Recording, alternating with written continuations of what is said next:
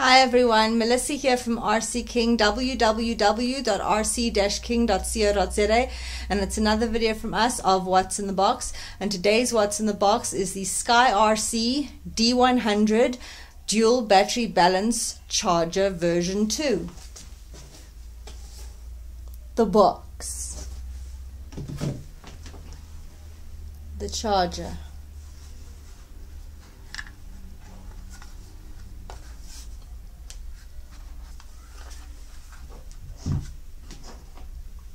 Two banana plug to XT60 connectors, two banana plug to whatever connectors you want to put on that end, two adapters, power plug,